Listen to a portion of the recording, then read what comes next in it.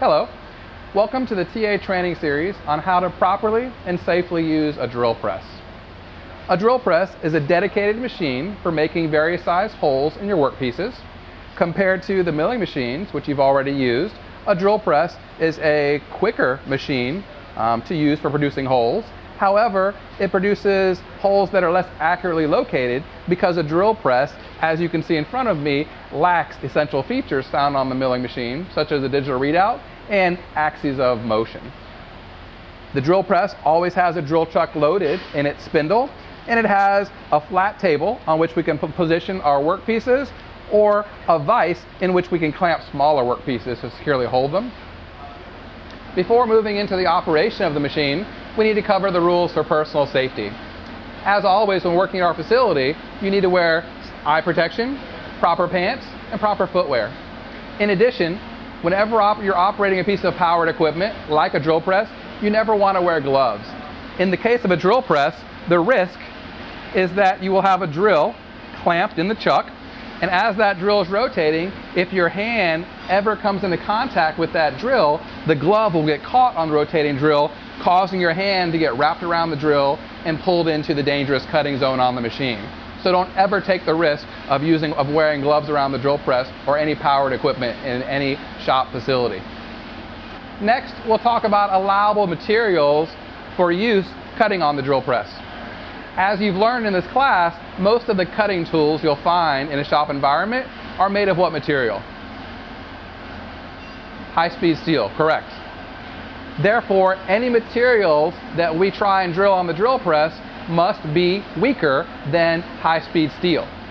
The easy way to check this, if you're unsure, is to perform a file test.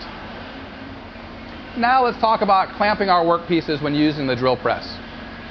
The number one rule when doing this is to never position the part on the table and try and hold it by hand while performing a drilling operation. The reason is the drills that we use will overcome the amount of resistance or resistance torque that our hands can apply, pulling the part out of our hand and causing it to rotate at high speed, causing a serration or laceration to our hand. So for that reason, we never hold on to workpieces when trying to machine them.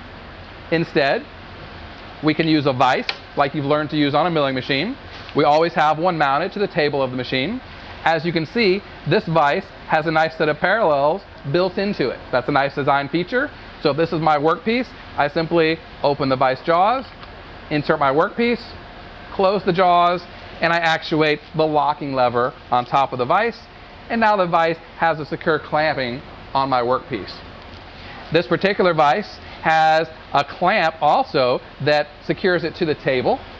So what I would do is load my drill, position my part where I want it, and then as the last step, I simply tighten the clamp handle, and that's going to hold my part in the vise and hold the vise to the table securely while I drill the holes that I want to in my workpiece.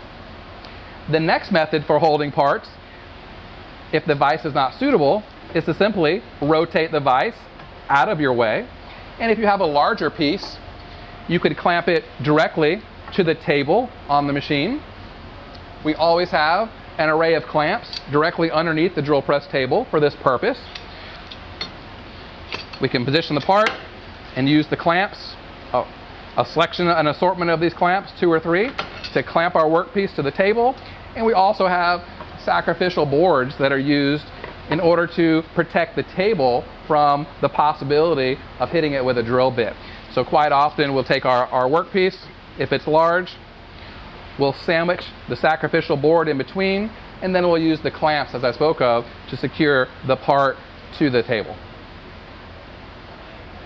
Next, let's talk about loading the drills. As we learned with the lathes and the mills, we're typically going to start with a center drill for the best locational accuracy possible. We grab the center drill, we open the keyless chuck, insert the drill, and clamp it as securely as possible by hand. Next, we move the workpiece underneath the drill, locating our target position where we wish to drill the hole. And once we find it, we can tighten the vise clamp as shown in the previous step. At this point, the part is clamped securely, we have the center drill loaded, and we're ready to commence with the actual drilling activity. I'm going to turn the machine on by pressing the black start button. I'm going to reference the speed chart on the side of the drill press. And in this case, it tells me for my center drill, my spindle speed should be approximately 1600 RPM. This drill press works just like the milling machines in that it tells me the machine must be running prior to making a speed adjustment. We have the machine running, therefore I can easily adjust this to the 1600 RPM, target speed, apply a little oil to my workpiece, bring my drill down to the right location, and commence with the drilling sequence. With the center drill, I'll perform a couple pecks, and that's all I need with this first tool. I'll retract the spindle, turn the machine off, and very importantly, wait for it to come to a complete stop before reaching in to remove the center drill from the spindle. Next, I'll select whatever drill size I want. We're going to adhere to the same rule of thumb we taught you on the mills and lathes, which is a quarter inch increment. So if I wanted to drill a 3 8 hole, I would start with a center drill, proceed with a quarter inch drill, and then finish with a 3 8 drill. The drills, if you recall, have, or the drill sets have three different sizes, lettered, numbered, and fractional drills. And in this case, I'm simply going to drill a quarter inch hole through our uh, demo piece. I'll open the drill chuck. I will load the quarter inch drill, putting my eyes underneath the chuck to make sure that it's centered in the chuck before tightening it. I'll look over my speed chart and identify the speed for a quarter inch drill in aluminum workpiece. I'll turn the machine on, make the necessary speed adjustment, reapply oil, and continue with the drilling sequence. So I'll gently come down into contact, performing pecks to clear the chips. And once the drill exits the bottom of the workpiece, I'll stop before I push the drill too far, I feed the drill too far, causing it to collide with the bottom surface of the vise. Again, that's the purpose, that we take advantage of the built-in parallels to give us plenty of room to make sure that we respect the vise and never drill into it with the drills. Once finished, I'll reach up, stop the machine. I will never try and pull chips off the machine by hand. I will use a rag afterwards to do so, to protect my hands from the sharp chips. And finally, I can now remove my quarter inch drill and continue, or if I'm finished, I can then remove my part as well. As with any machine, once we are finished using it, the final step is proper cleanup. Our goal is to always leave the machine cleaner than we found it. In this case, we want to begin by taking the drill out of the spindle, by removing the workpiece from the vise, and next by wiping the table off, wiping all the chips off the table and off the base of the machine. Finally, we'll use the brush and dustpan to sweep the table and the surrounding area on the floor, and then we will discard the debris in one of the trash cans found in the lab. It's worth mentioning at this point that when we're finished using drills, it's very important that we put them back in the right place. A student can waste a lot of time if they go into the drill box and grab a drill that somebody put it back in the wrong location. So please pay attention and do your best to put drills back where they belong. And if you're not sure, give them to a TA and they will assist you.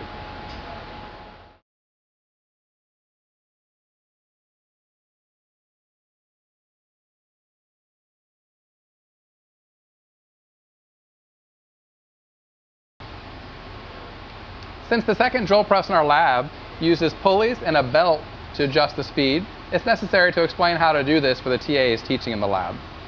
For the purpose of this video, I'm going to remove the front belt guard for clarity.